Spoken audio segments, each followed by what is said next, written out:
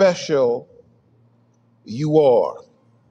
Each one of you, extremely special. Uh, that if it hadn't been for the Lord who's on your side, where would you be? Extremely special. And because you are so special to God and God has invested so much in you to keep you, uh, that's why I preach and I teach hard. And I've learned to preach and teach hard, even if there's one person in the sanctuary. I preach and I teach hard. I even took it this far. I remember one time, about 30 years ago, there was no one in the sanctuary. So, Shamika, I preached and I taught. It still went forth. I didn't see any angels, didn't feel anything. I just know the word of the Lord went forth. And the Bible makes me to know that God sent forth his word and it healed them. Because God said, My word will not return back unto me void, but it will accomplish all that I set it out to do. So, right now, I am coming against the power of the enemy that has been trying to make somebody in here, someone that's literally in this place right now, as well as those that may be uh, listening on the radio or those that may be joining us on YouTube or Facebook. I'm, I'm coming against the enemy right now. I'm here to tell you that you are special. You are special. Things have conspired to work against you, work against your mind uh, to make you feel less than, make you feel small. But you are special. Hallelujah, hallelujah, hallelujah, hallelujah. I will not be here long, but I've got to give you what thus saith the Lord. Please turn in your Bibles to two scriptures. The first one is Second Thessalonians chapter 3. The second one is Galatians chapter 6. Second Thessalonians chapter 3 and Galatians chapter 6. Both are the New Testament. The first scripture is Second Thessalonians chapter 3, verse 13. It reads as such But ye, brethren, be not weary in well doing. If I had to give a title to this message today, it would be to all of those that are listening to me, whether you're listening uh, by radio or listening by Facebook or YouTube, or, or whether you are here in person. I need to talk to you for a second, and I'm encouraging you be not weary in your well doing. Second scripture is Galatians chapter 6, uh, verse 9 and 10. Hallelujah. Galatians uh, chapter 6, verse 9 and 10, and it reads, And let us not be weary in well doing, for in due season we shall reap if we faint not. Before I read verse 10, let me tell you something about that. He's telling you, uh, don't stop doing the good stuff. Don't stop doing it. Whether it is praying or or fasting or thinking good thoughts and doing good things. Don't stop doing. It may not seem as if anyone sees what you're doing, but I'm here to tell you God sees it. And He identifies uh, that He will reward us for our well doing. It says here that we shall reap, but it qualifies that if we faint not. So before I read uh, verse number 10, uh, please thank you, Lord, for the blessing of these people that are here right now. Look at someone around you, touch someone around you, whatever. Uh, please encourage them just for a second. Tell them to hang on in there. If that's the best they can do, just hang on in there. If that's the best that you can do, just hang on in there. If you can't do any more, just hang on in there. Hallelujah. But those that can do better than hanging on in there, I'm here to tell you keep pressing, keep pushing, because God has a reward for you. Verse number 10, it says, in that same vein, as we have therefore opportunity, let us, oh, hallelujah, let us do good unto all men, especially unto them who are of the household of faith. Uh, I need to focus in on that. Doing good unto all men. But notice this latter clause, especially unto them who are of the household of faith. It doesn't say to them that treat you good all the time, to them that understand you all the time, to them that always got a smile on their face. You know, uh, there's some people you just love to be around because they make you feel good. Uh, even in the church, there are some people that you get around, and whatever is going on in their life, they sort of pull you down. Uh, hallelujah. But even in spite of the fact that they may pull you down, you lift them up, especially unto them who are of the household of faith. Oh, let me go on. Uh, those two scriptures uh, together conspire, they work together to tell us to do some things. It tells us to work in the church. Uh, uh, we have work that needs to be done. Just give me a few minutes so I can go through the work that needs to be done in the church. Uh, first thing, you join the work of the church through prayer. If the only involvement we have in prayer is the hour or so that we have each Sunday in church, that's not joining the work of the church. That's neglecting the work. Uh, we have to commit ourselves to expanding our regular daily prayer life, uh, giving time to prayer, giving time to seeking God's face, giving time to being in his presence. You know, something happens when you get in the presence of God. Something happens when you just get in his presence. Uh, when you're out of his presence, uh, hallelujah. Let me explain that. Because God is everywhere, we know that.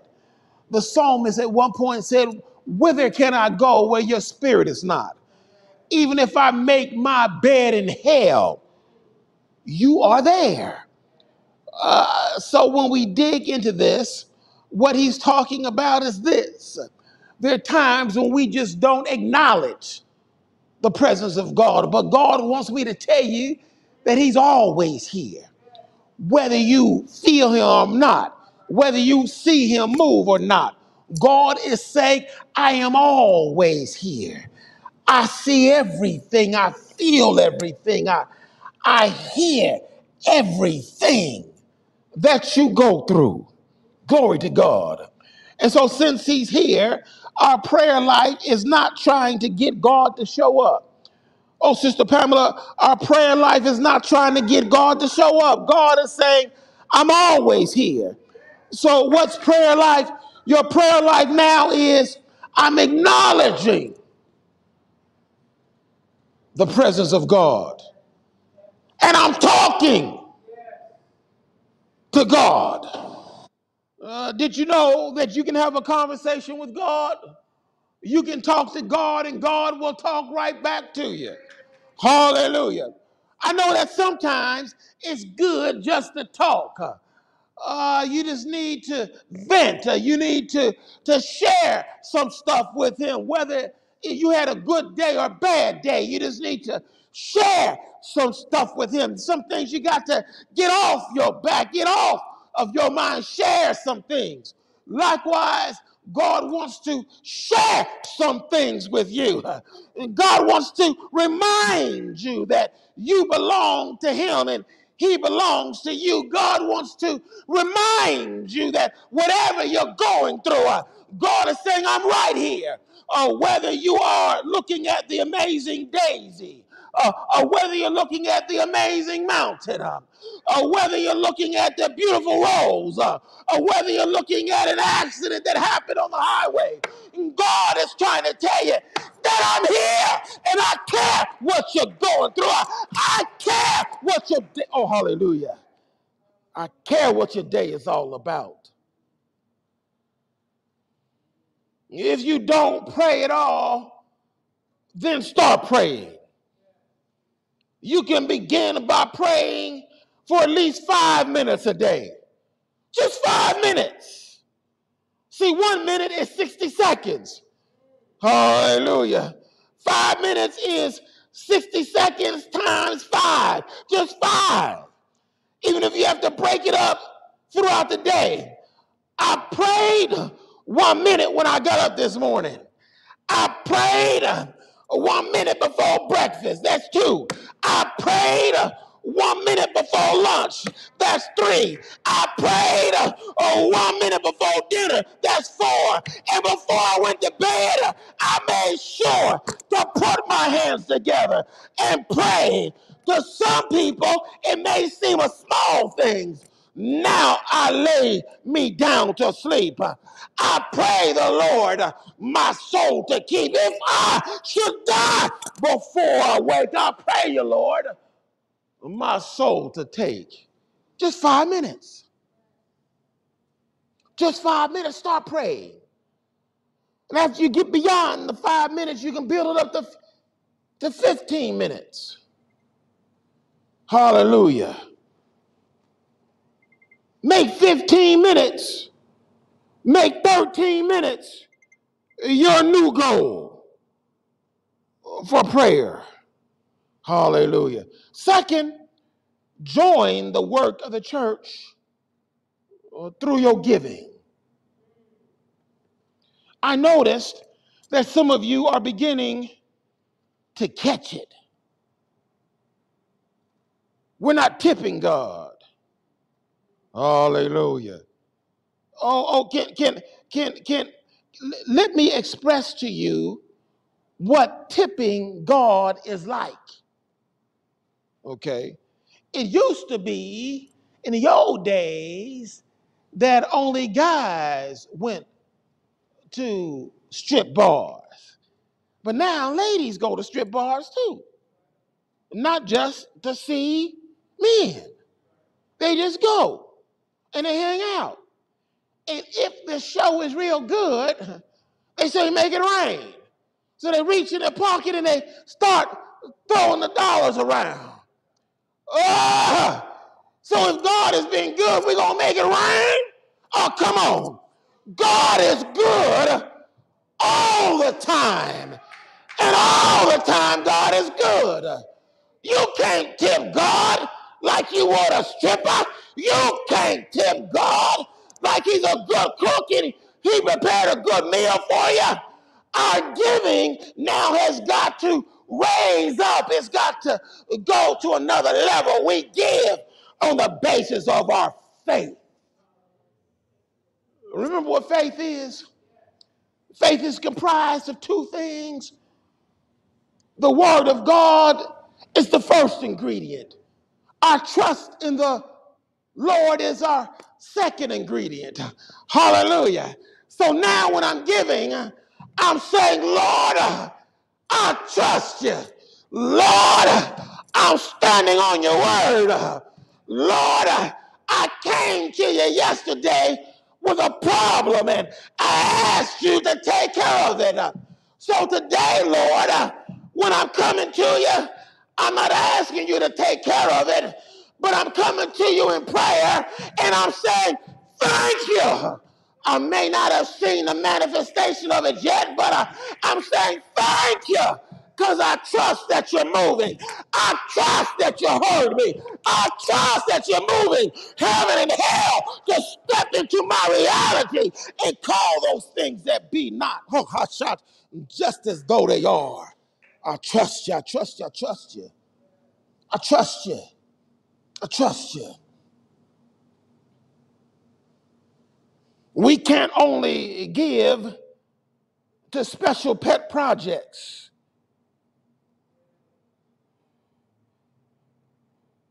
We've got to give.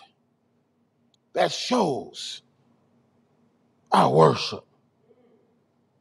Notice giving. I didn't say give how much. I said give. Give. God knows. There's sometimes, because of whatever you're going through, you may only afford to give the widow's mite. Oh, hallelujah. But that one tenth of one penny can be more than a thousand dollars that someone else gives grudgingly. Uh, So when we come with that little bit, God has a way of touching the little bit and expanding it to take care of much. Well, let me keep on going. Uh, thirdly, we join the work of the church through serving. Through serving. Let me get real specific here. Uh, you may be born again. You may have only just been conceived. It doesn't matter. God has worked it out in such a way that all of us have a spiritual gift. Everybody in here has some type of gift. Hallelujah. Uh, technically, the gifts that you received at your natural birth were to edify the world. Uh, somehow the devil got involved in some of those gifts and have perverted it. Oh, glory to God. So that the music that was supposed to edify us, uh, that same music no longer edifies us, but it spurs us to perversity. Huh. Hallelujah. So I'm trying to encourage whoever is listening to me. You may not be born again, uh, but you were born with a purpose. God gave you a gift at your birth, and your gift is designed by God Himself to edify. Even at your new birth, God has given you a gift. So whether you have been born again or not, you are without excuse. Because all the gifts god said i don't i'm not backing up off of anything. The gifts and the calling of god are without repentance. I bless you. I bless you. I bless you. So you can be a blessing. Then the word goes on to tell us this is your reasonable service oh hallelujah uh, uh, the peanut man would not have been a blessing to God if he didn't drill down in and do all that he could to give what he had for his God. You may be a dancer. Drill down in and dance for your God. You may be a drummer. Then drum like the drummer boy. Pum, pum, pum, pum. Drum for your God. You may be a stepper. Step for your God. You may be a movie maker. Make movies for your God. You may be a poet. Be a poet laureate for your God.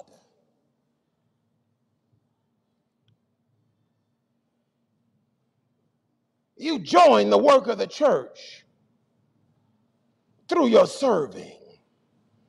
Whether you're opening doors or painting walls, whether you're stacking chairs or you're visiting the, the aging or the disabled, uh, at home or at the hospital or at hospice. from teaching preschoolers to playing an instrument in church.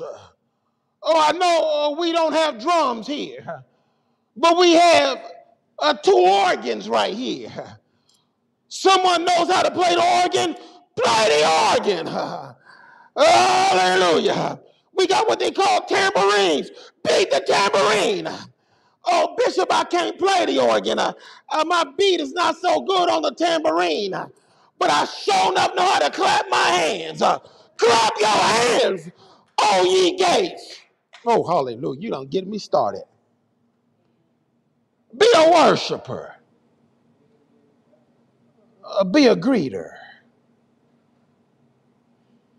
If you don't have, if you don't think you have anything to contribute to your church's ministry, it's only because you haven't asked. If you're doing nothing in your church, make a change. Get involved. Please look in your Bibles with me to St. John chapter 13, verse number 35. This is critical. St. John uh, chapter 13,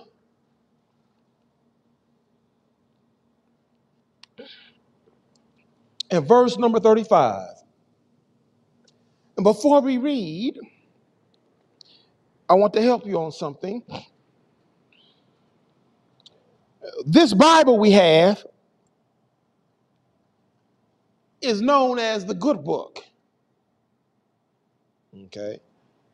It is so powerful, it doesn't even have a name to it. It's just called the book. just the book. That's all about me. The book. Oh, hallelujah. The book is not talking about one of John Wayne's books or John Grisham's books or, or whoever it is, books. Uh, when you hear about the Bible, you know what book we're talking about. The book. Hallelujah. Hallelujah. The book. The book. This book, guess what? You ready? It wasn't written to the world. The world can get something out of it. And indeed, the world does get something out of it. This book is being quoted daily uh, by imams in the Muslim faith. It's quoted by Buddhists. It's quoted by uh, uh Jewish uh, people. It's quoted by people all over the world. The book. But technically, this book is written to you, for you, the household of God. We don't have time to do it, uh, but just for you to check it out, go to any book of the New Testament. Uh, go to the first chapter and the first few verses, and you will see how it's written from either Paul or John or Timothy whatever unto the church or unto the believers or unto the saints. That means you. Now, with that said, with that concept in mind, uh, that puts a whole nother paradigm in place. Uh oh. Did you know that sometimes people in your family can get on your nerves? Can I say that again? Sometimes people in your own family can get on your nerves. People in your own family can give you headaches. People in your own family, when you see them coming, sometimes really what you want to do is stop and go the other direction and hope that they didn't notice you. Oh, glory to God. You know I'm telling the truth. You know I'm telling the truth. oh, but God is saying something else. Uh, we went to, what was that? Uh, St. John chapter 13, verse 35, it says this By this shall all men know that ye are my disciples, comma, if ye have love one to another. Oh, someone knows where I'm going with this. Uh, this is not the eros love. Uh, this is not the phileo love. This is the agape love. Since uh, someone wants to play games and and try to make you think you can't grasp it, no, no, no. Let me help you. Agape is, in its most basic sense, commitment. Commitment. Look at someone next to you and say, I'm committed to you. Or whether you make me feel good or not, my commitment is not on the basis of how you make me feel. My commitment is on the basis of what God told me to do. It's on the basis of what God put in me to do. And because of this commitment that we have to each other, the scriptures identifying this is how the whole world would know that you are one of my followers, that you're acting like I act. You know, God was committed to us even though we assassinated him. Mm, God was committed to us even though there are times we turned our back on him. I'm not asking anyone to raise your hand. Don't testify. I'll raise my hands for you. There are times in our lives when we turned our back on God. Times in our lives when we tried to tune God out. Times in our lives when God said, go right, we purposefully went left. Oh, but God said, uh, whether you obeyed me or not, I'm committed to you. Whether you like me or not, I'm committed to you. Whether you feel good or not, I'm committed to you. And he says, By this shall the world know that you are followers of me, that you're committed one to another. Now, let me play with this just for a second. Uh, notice in the latter clause of that scripture, it says one to another, right? Not just one for another. What's the distinction? Well, have you ever gotten something for someone and never gave it to them?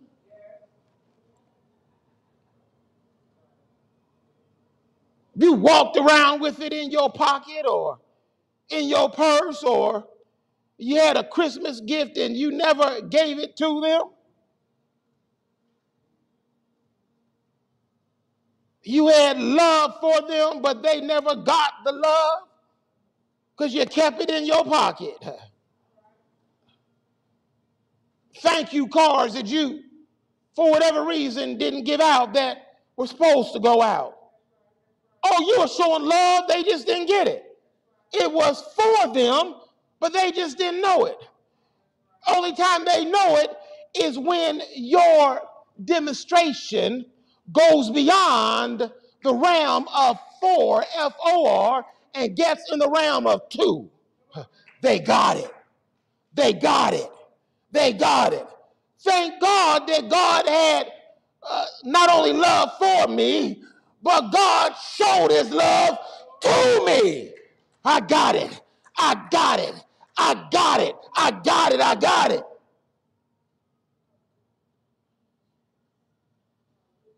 The great book called Corinthians is talking to the church. I want you to look, please, at First Corinthians chapter number 13. And I'm starting with it as well.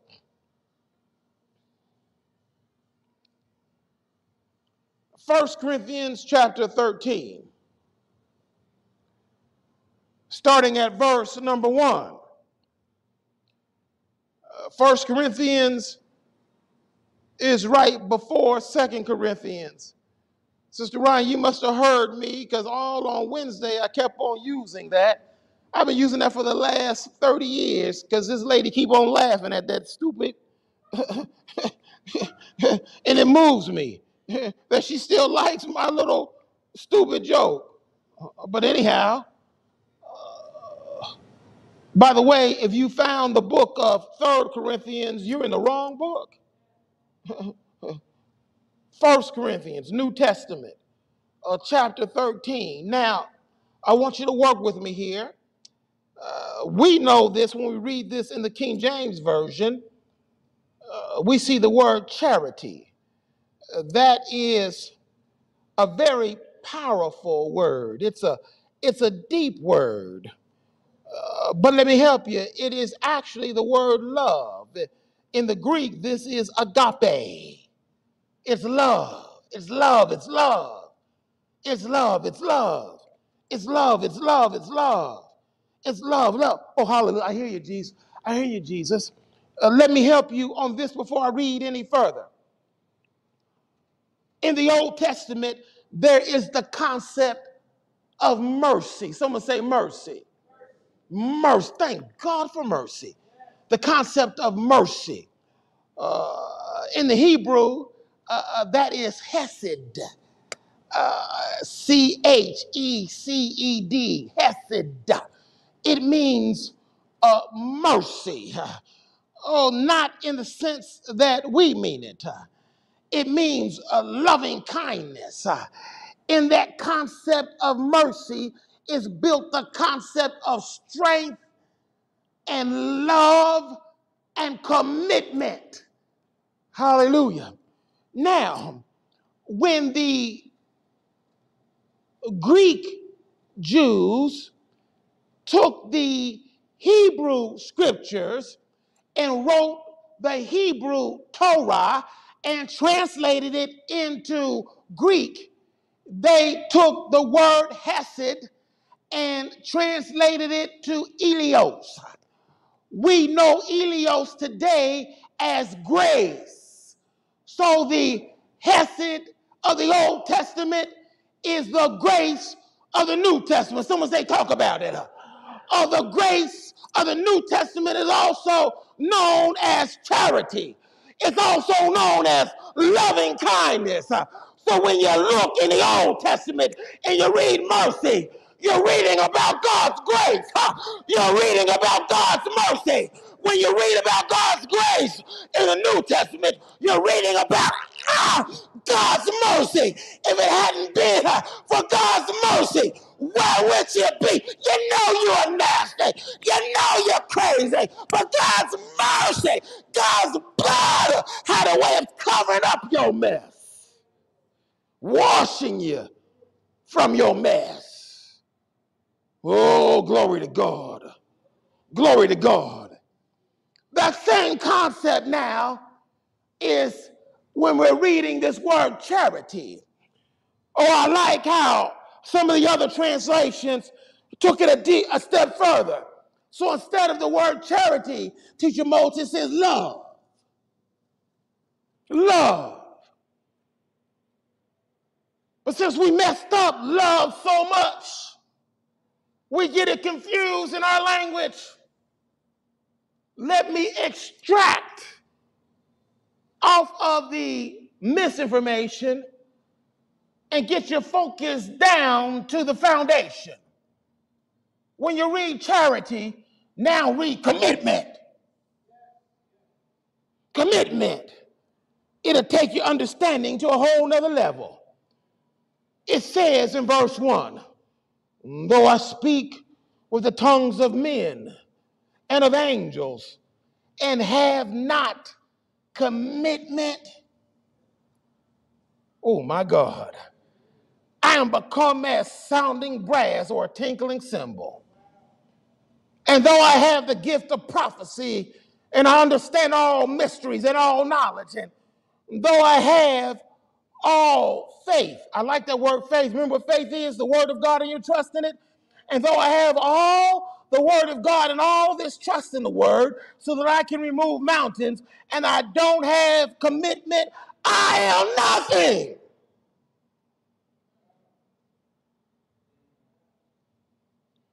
Verse 3 And though I bestow all my goods to feed the poor, and though I give my body to be burned and have not commitment, it profiteth me nothing. Here we go, here we go, here we go. Commitment, Sister Monks, suffereth long. They got on my nerves, but that's okay. I'm committed. They talked about me. That's okay. I'm committed to you. You stole from me. That's okay. I'm committed. You my child, but you broke into my house. You stole from me when I would have given it to you. But that's okay. I'm committed. God is trying to tell you something. I'm committed to you. I'm committed to you. I'm committed to you. Oh, I can tell you this is moving somebody. I'm committed to you. God is saying, I'm committed to you. Uh, Joan, whoever I'm talking to. Bobby, whoever I'm talking to. Richard, whoever I'm talking to. God is telling me to tell you, He's committed to you. He's committed to your ministry. He's committed to your life. Don't matter how many times you messed up. He's committed. It don't matter. He's committed. You may have said, oops, I did it again. I can't think of whoever wrote that song. Oops, I did it again. 70 times 7. Oops, I did it again. God says, don't matter. I'm committed because I'm God.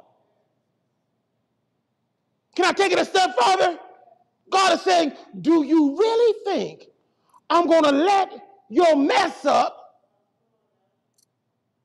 make my sacrifice of non effect? I died for you. Not only did I die for you, watch this, watch this. Now I'm going to show you something. I'm going to tell you something. And God is saying, I literally shook up the universe. Uh, the part that you can see and the part that you can't see. There's a whole thing out there called antimatter. I shook up the whole realm of existence. Uh, When'd you do it? Thank you for asking. Not only when I died and I went to another dimension uh, called hell, I walked around in hell and I preached and I taught and I saw the captives in hell, but I did something else. I looked at hell. I looked at the grave and I said, You're not strong enough to hold me down. You're not strong enough to keep me. Do you really think your addiction can keep God down?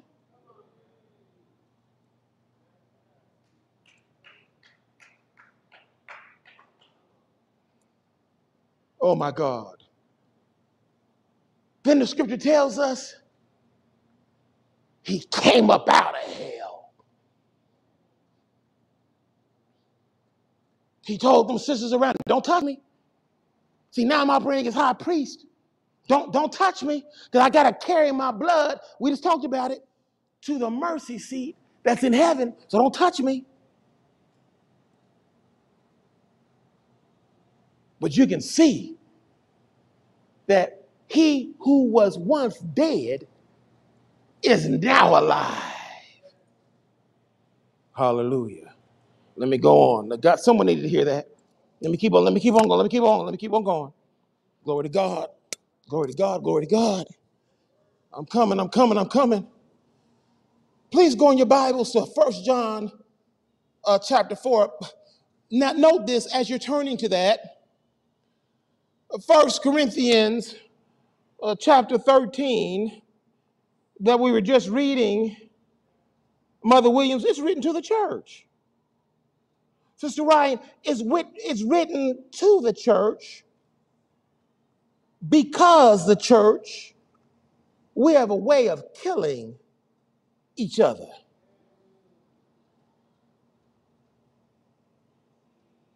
Either through what we do or what we don't do.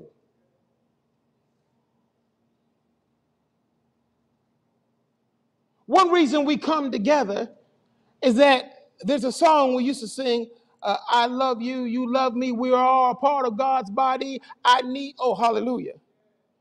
That you have what I need and I have what you need. I like what the Archbishop Dwayne Brock was saying is that what you represent, Sister Moats, you ready for this? You represent an answer to somebody's problem. God allowed you to go through some things because He could trust that you would go through it and come out on the other side. And in your going through it, He deposited some stuff into you. Oh, oh, thank you for asking what did he deposit? He deposited into you the answers that the sister next to you need to have. He gave you the message to mess with his mess.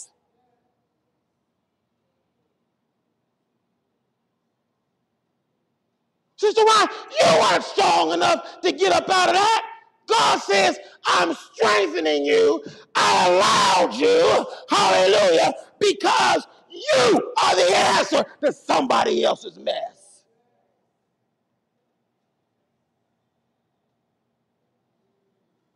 Sister Shamika, I protected you. I you.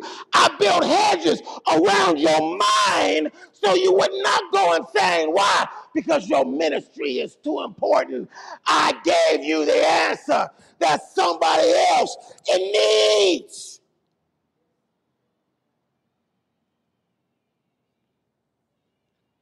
Why didn't that divorce kill you? Because God kept you to elevate your ministry to a whole nother level.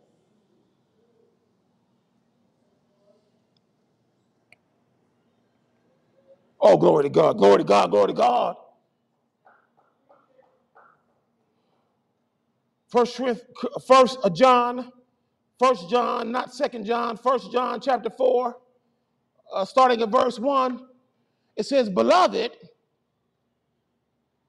Hallelujah, believe not every spirit, but try the spirits whether they are of God, because many false prophets are gone out into the world." Verse two. Hereby know ye the Spirit of God. Every spirit that confesseth that Jesus Christ is come in the flesh is of God. Verse 3 And every spirit that confesseth not that Jesus Christ is come in the flesh is not of God. And this is that spirit of Antichrist, whereof ye have heard that it should come, and even now already is it in the world. Verse 4 But ye are of God, little children. Notice this next clause and have overcome them I have that highlighted because greater is he that is in you than he that is in the world. Overcome them. Who is the them he's talking about? He's talking about the them he identified in verse 1. The spirits that are not of God. By the way, just like the Holy Ghost, our Holy Spirit, remember, David, David recognized there are many different spirits out there. That's why he said, Take not your Holy Spirit from me. Holy Spirit is not his name. This is just what he does. It, it, it reflects his office. Okay? Well, there are other spirits that are out there. That's why David made a distinction.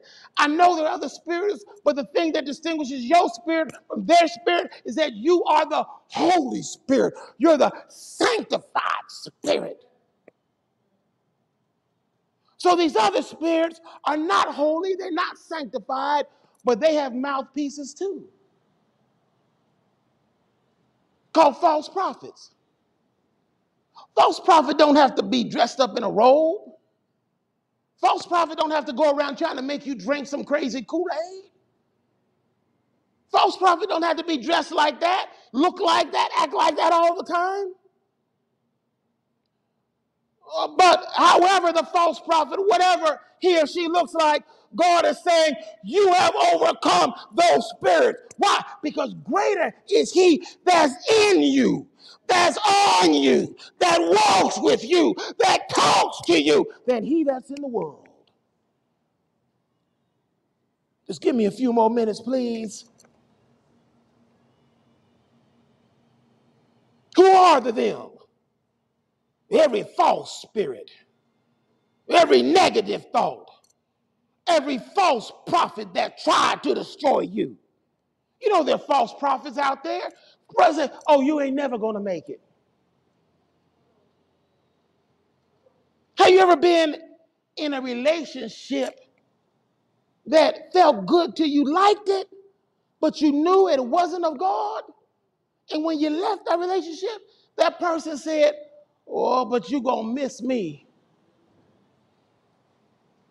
That is a false prophet trying to prophesy damnable things over you. And God is trying to get you to hear this. Greater is the Holy Ghost in you than those spirits that are in the world, than any false prophet. Well, let me go on, let me go on. You know this. Ecclesiastes uh, 9 and verse 11 in Matthew uh, 10 22. I'm only going to read a portion of Ecclesiastes 9 and 11. It says, I returned and I saw under the sun that the race is not to the swift, nor the battle to the strong. Hallelujah. Matthew 10 and 22 says, And ye shall be hated of all men for my name's sake. But he that endureth to the end shall be saved. Oh, hallelujah. Let's combine the two thoughts right there. One, an Old Testament prophecy, the second one, a New uh, Testament prophecy.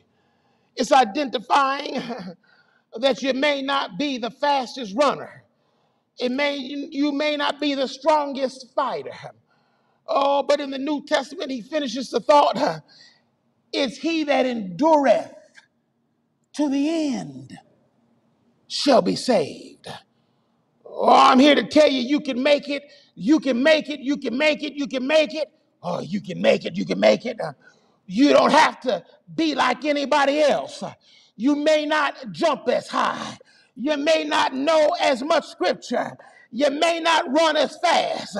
They may pass you up and look at you as they're running past you and give you that look. Uh, you know what look I'm talking about. Uh, some people look at you and just look down their nose at you. Oh, you didn't dream it up. Uh, you just uh, felt it. Uh, uh, your job is not to be moved by how they look. Just tell them uh, in the way you act. Tell them in your worship uh, that you're running for your life. Uh, when you see me clapping, I'm running for my life. When you see me praying, I'm running for my life. Because he that endureth to the end shall be saved.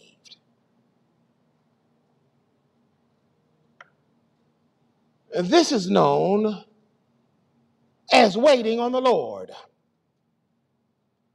Can I give you one last scripture? Uh, please go. I'm 17 minutes over. Please go to Isaiah chapter 40. Old Testament. I want you all to get this. Isaiah begins with an I.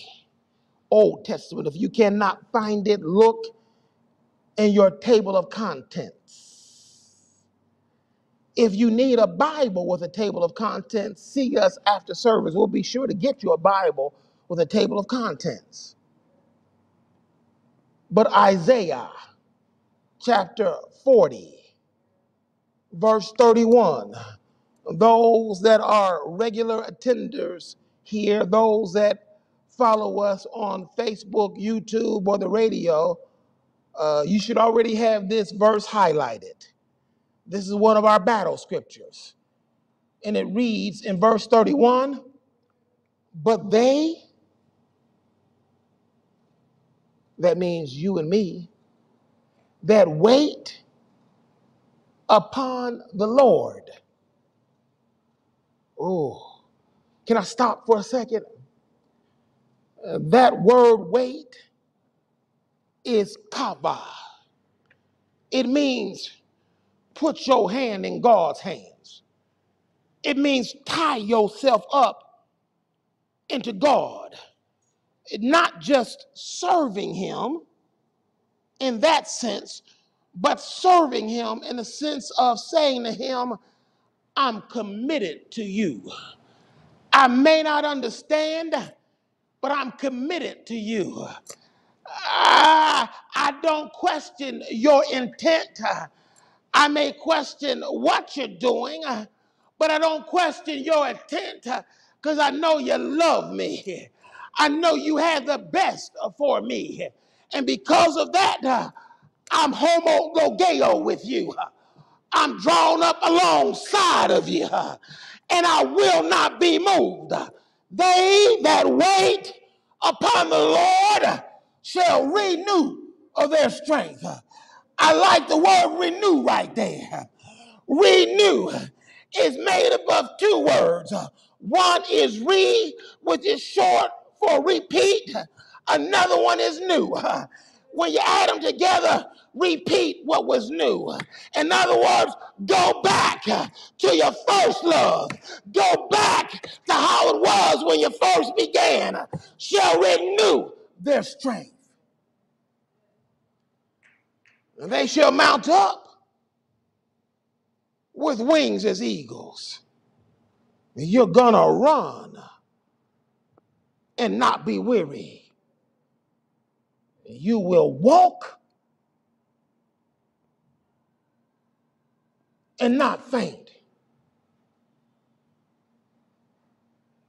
They're talking about you. They said some crazy things about you. Someone said it underneath their breath. Someone else said it, they whispered it loud enough so they know you could hear it.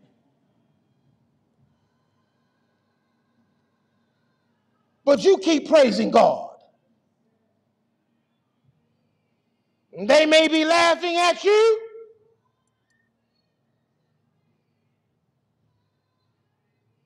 but you keep praising God. Your wallet may be laughing at you. Has your wallet ever laughed at you? I took my wallet out once, opened it up. It was nothing in it but a laugh. Hallelujah. But I kept praising God, regardless of what my wallet said. Why? Because I trust Him.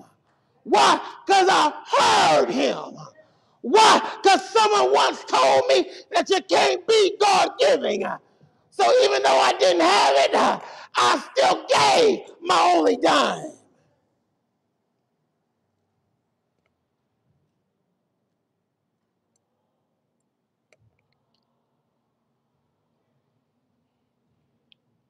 I'm enduring to the end. They pass you up again. But keep trusting God. Keep praying to God. Keep serving God. Keep your commitment to God. Stay committed. Keep loving. Can we stand on our feet, please?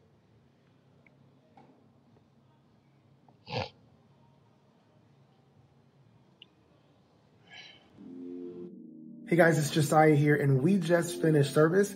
I pray that that was a blessing to you and to your family. Uh, if you want to give, you can give. Wherever you happen to be,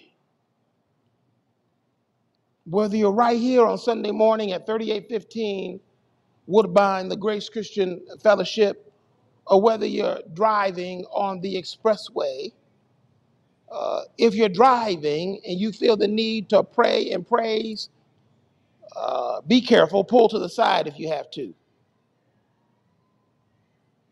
But we're getting ready to give it to God. I heard someone say that when we stretch out our hands, it's in surrender, it's in giving up. So wherever you are, just stretch out your hands to your God. Or you may think you have it all together, uh, but there are deeper depths, there are higher heights, and the Lord gave it to him. And God has promised to meet you at your fingertips. God has promised to meet you beyond your fingertips down to your wrist. God has promised uh, to take this down to your elbow. God has promised to cover you. I'm declaring right now that the Holy Ghost right now is covering somebody I'm talking to. Just say it with me Lord, not just my hands, but my whole being. Cover me, cover me, cover me, cover me, cover me, cover me. Now, devil, we rebuke you in the name of Jesus. We remind you, you a defeated foe. Yeah, I'm pointing my finger to whatever devil's looking at me right now. You a defeated foe. Oh, I, I, uh, I may not have done it, but God did it. And then you know what he did? He gave me the victory. God whooped you, and then God gave us the victory. God beat you. Someone said he beat you with an ugly stick. No, you was already ugly. God beat you, and then he gave us the victory. That's why I said you don't have to fight in this battle. That's what he said. Well, that's what he said. That's why he said, send Judah first. Because you don't have to fight in this battle. You just go now. See what God is doing, He's connecting dots and taking it to a whole nother level. He said, now you just praise me for what I've already done. Right where we're standing right now. Thank you for joining us. You can shut us off. Right where, whoever you are right now, just begin to praise your God.